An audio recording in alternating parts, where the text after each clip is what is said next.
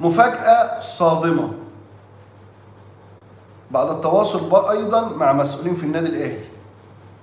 الأهلي يتراجع عن صفقة سيرينيو نجم سان داونز. خد مني اللي بقول لك عليه ما تدورش ورايا. ولو جه برهان. سيرينيو الأهلي يتراجع عنها رسميا. والسبب هو أنت جبت طاهر محمد طاهر خلاص.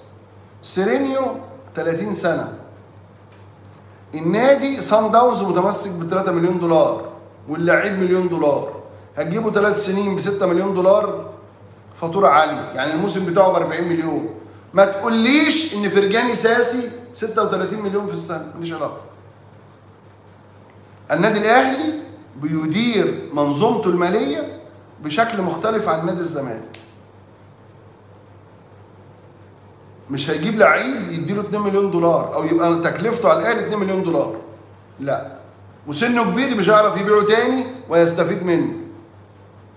فامبارح والنهارده كلام امبارح وكلام النهارده بالمسؤولين في النادي الأهلي مهمين ومسؤولين عن التفاوض والتعاقد مع مستر فايلر. تم صرف النظر نهائيا عن سيرينيو.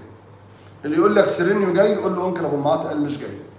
والاهلي لن يستكمل المفاوضات معه في ظل هذه المبالغة. عاوز يجي بقى يجي بقى مثلا بمليون هو ياخد النادي ياخد مليون وهو يتفاوض على فلوسه 600000 500000 دولار كده. لكن الأرقام دي ضخمة جدا الأرقام ضخمة جدا في منظومة الأهلي المالية تبوظ الدنيا. وفي نفس الوقت سنه كبير مش هتستفيد من إعادة البيع. وليد أزارو 24 سنة. جونيور اجاييه برضه نفس الفكرة 26 سنة دي. رمضان صبحي لسه 23 سنة. فأنت لما تشتري لعيبة صغيرة السن وتعيد بيعها طاهر محمد طاهر. ما جابش 23 سنة. أهلا بك يا سفيان. من الجزائر الشقيق واهلا بك فهنا يبقى إحنا قلنا موقف رمضان صبحي. مفيش تحرك. موقف سيرينيو الأهلي يتراجع عن شراء سيرينيو جملة وتفصيلا. طيب جاكسون موليكا يتم مراقبة الوضع والتواصل ولتخفيض الطلبات. ووارد يخلص في أي لحظة. يعني النادي الأهلي بالنسبة لجاكسون موليكا ما زال في الحسبان. سيرينيو لا خلاص. سيرينيو تم قفل الموضوع عليه. والاهلي يتراجع عن شرائه نهائيا نهائيا نهائيا. طيب. وأنا بتكلم على ده لازم أتكلم على محمد شريف. محمد شريف اللي قالوا اللي قالوا لمسؤولين نادي إنبي ومسؤولين بيراميدز إنه مش حابب يرجع الأهلي بعد صفقة طاهر محمد طاهر خاصة لو الأهلي خلص في رمضان لأنه مش هيلعب. لأنه مش هيلعب. ماشي؟ فايلر قال إنه عاوزه وفايلر مش عاوز جيرالدو. مش عاوز جيرالدو. فمحمد شريف انبي عاوزه وبيراميدز عاوز يشتريه نهائيا أو ياخده إعارة. لو الأهلي هيوديه بيراميدز هيبقى في صفقة. يبقى الأهلي عينه على حد يجيبه عينه على حد يجيبه في بيراميدز الأهلي عينه على مين؟ على ايريك تراور فمحمد شريف الكلام كتير حواليه فأنا بقول لك الخلاصة. بقول لك الخلاصة. وبيراميدز عاوز محمد شريف وعاوز عمار حمدي. والخواجة متمسك باستمرار عمار حمدي مع النادي الأهلي. شايف إن هو يقدر يلعب حتة ال back right. رغم إن كريم يحيى ظهير أيمن النادي الأهلي المعار إلى سموحة جدد على بياض مع أمير توفيق من شهرين.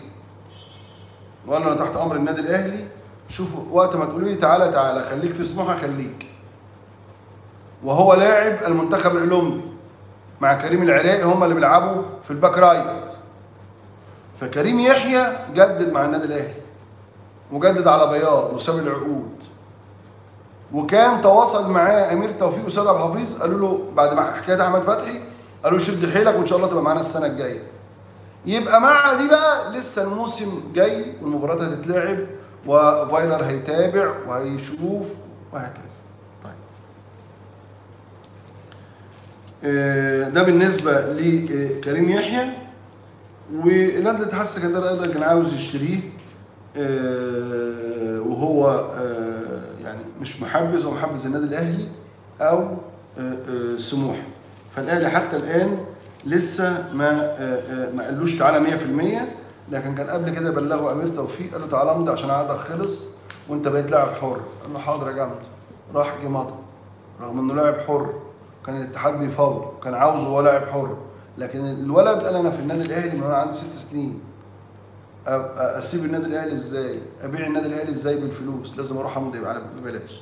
فهو والده راحوا قعدوا مع أمير توفيق وخلصوا. إيه اللهم صل على سيدنا محمد ده بالنسبة آه، بالنسبة لأسامة جلال الاهلي لن ينهي هذه الصفقة في الانتقالات الصيفية الجارية. الاهلي لن ينهي هذه الصفقة بالانتقالات الصيفية الجارية.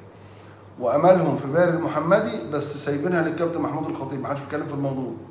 يختار هو التوقيت المناسب للكلام مع المهندس إبراهيم عثمان لكنه مفيش لهفة على إنهاء صفقة باري المحمدي واللي متفق عليه في لجنة الكورة مع الكابتن محمود الخطيب مع أمير توفيق مع آه، آه، آه، جهاز الكورة إن أقصى حاجة للصفقة من 15 إلى 20 مليون جنيه. مفيش الكلام بتاع 40 مليون والكلام ده. الإسماعيلي جاله الرقم ده هيبيع لبره إن شاء الله. ماشي؟ طيب إيه تاني يا انكل إيه تاني؟ آه هاجي لكم أنا في تحركات الكابتن محمود الخطيب دلوقتي. لأن هو آه، آه، مش ساكت يعني. طيب. عاوز أتكلم عن تحركات الكابتن محمود الخطيب للدفاع عن حقوق النادي الأهلي. الكابتن محمود الخطيب منذ فترة ومع آه، استمرار شتائم وتطور رئيس نادي الزمالك كان يوميا يتقدم ببلاغات إلى الجهات الرسمية سواء معالي النائب العام أو بشكاوي إلى مجلس النواب أو بشكاوي إلى المتحدة. إعلام المصريين للحفاظ على حقوقه وحقوق النادي الأهلي. ولرفض ما يحدث. كابتن محمود الخطيب أرسل بالأمس مذكرة إلى إعلام المصريين يحذر من احتفال قناة نادي الزمالك بنادي القرن لأن لقب نادي القرن حصل عليه النادي الأهلي من 20 سنة وهو حق للنادي الأهلي. وقال إن ده بيؤجج المشاعر وينشر الفتنة ويثير البغضاء. كابتن الخطيب لم يكتفي بإرسال المذكرات الرسمية للجهات الرسمية. علمت اليوم أنه من امبارح بيقوم بمجموعة من الاتصالات مع بعض المسؤولين الكبار في الدولة لوقت فتنة نادي القرن واتصل بجهات عدة ومسؤولين كبار على أعلى مستوى. بيقول الآتي الأهلي نادي القرن بشهادة الاتحاد الإفريقي لكرة القدم. مسألة تعليق اللافتات والاحتفال التلفزيوني يؤجج المشاعر ويثير الغضب. والنهاردة الخبر اللي انتشر أن مجلس الزمالك سيدعو مجلس الأهلي للاحتفال بلقب نادي القرن دي مسألة قمة في الكوميديا. قمة في الكوميديا. قمة في الكوميديا. انت دلوقتي خلاص يعني المسائل ما بقاش في أي خلاص تعالوا بقى اللقب بالنادي الأهلي مش أنت يا خطيب اللي استلمت لقب نادي القرن مع كابتن صالح سليم في جنوب أفريقيا في 22 مايو 2000 تعال احتفل بنادي القرن في الزمالك ويقول لك لنشر الروح الرياضية و و و. وبيلاقوا ناس تقول الكلام ده وبيلاقوا ناس بتدعم الكلام ده. وهذا الأمر جد خطير وهو ما يظهره ويوضحه الكابتن محمود الخطيب للمسؤولين في الدولة المصرية أن ما يحدث يؤثر بشكل صعب على نفوس الجماهير ويؤجج المشاعر. بعد 20 سنة واللقب يا عم ناخده من الاتحاد الإفريقي روح اشتكي في الاتحاد الإفريقي. لكن ما تجيش تحتفل وتأثر عليا أنا لأن ده بي طبعا بصوا هو إيه ميزة النادي الأهلي عن غيره من الأندية؟ واحد العراقة والبطولات والالتزام بالتعاقدات. العراقة والبطولات والالتزام بالتعاقدات. فيجي مع الرعاة بيحافظ على عقوده. فلما يجي راعي بي بيسوق منتجه على أساس إن ده نادي القرن ولا حاجة تانية نادي القرن بيؤدي إلى خسائر للنادي الأهلي وإلغاء تعاقدات فمن هذا المنطلق يتحرك الكابتن محمود الخطيب ويجب أن تتحرك مؤسسات الدولة المصرية للحفاظ على الروح الرياضية. وليس نشر مبدأ كيد النساء. لا يا عم أنا أنا نادي القرن وأنا هحتفل بنادي القرن.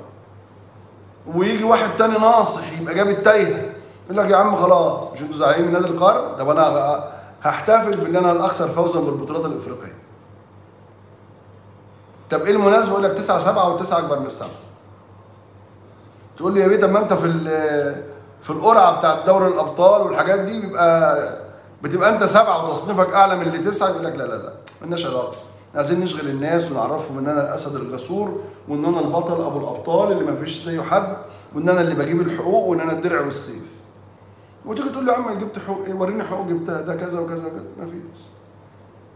يقول لك أنا عاوز 17 حمام و12 حمام سباحة عشان الناس تتبسط وتلاقي لهم الصرف كده مفيش صرف أصلا.